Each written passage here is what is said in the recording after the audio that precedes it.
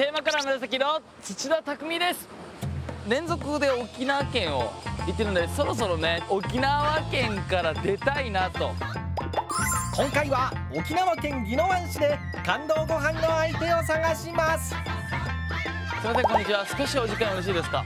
感動ご飯を教えてください。お願いします。大阪行った時に必ず食べに行くっていうラーメン屋さんがあってギョギョギョっていうラーメン屋さんあるんですよ。ギョギョギョはい。どこのラーメン屋行っても僕は塩ラーメン大体食べるわけですね。これはねもう絶対食べに行きたいっていうのがもうここですね。魚介系なんですけどあっさりなんですよ。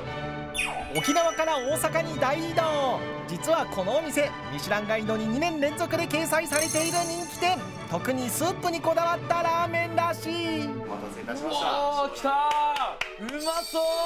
魚介の出汁のいい香りがしますね。いやまずスープすごい綺麗な色してます。いただきます。うまっ。うまい。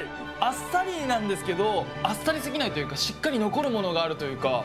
魚介のスープがメインなんですけども鶏ガラのスープも独自のブレンドで入れてコクとインパクトをスープに与えてます。麺も綺麗な色してんすよねめちゃくちゃ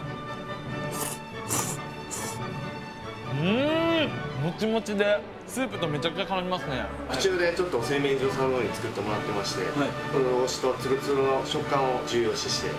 これはでも本当にお父さんが感動してる理由わかる。とっても感動しました。ごちそうさまでした